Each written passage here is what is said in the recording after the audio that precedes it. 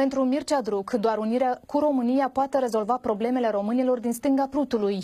Opinia a fost exprimată la București în timpul unei prezentări de carte. Deși nici Ucraina și nici Rusia nu vor unirea Basarabiei cu țara mamă, Mircea Druc spune că acest deziderat este realizabil și depinde în mare măsură de politicienii de la Chișinău și București. Fostul șef de guvern mai consideră că această misiune trebuie să-și o asume mișcările civice și partidele unioniste ca rezolvarea problemei pentru cele șase județe abandonate, o împrejurare istorică, eu le numesc teritorii naționale românești străinate, este revenirea la România. Asta o înțeleg foarte mulți. Numărul unioniștilor crește.